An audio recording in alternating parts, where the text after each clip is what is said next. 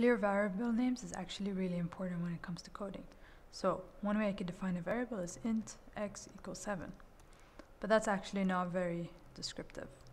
It's a very poor way to name a variable. One better way is with int number of days in week equals 7. This just pops out right away. It's very clear that what this variable is meant to be capturing.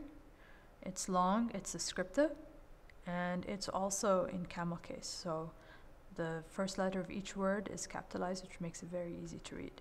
There's a couple of rules as to what kind of characters can be contained in variable names. So variable names can contain alphabet letters, digits, and underscores. So int number of days underscore 2 is allowed.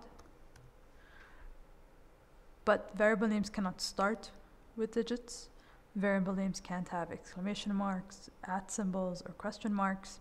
Variable names are case sensitive, so lowercase number of days in week is not the same as number of days in week with uppercase letters.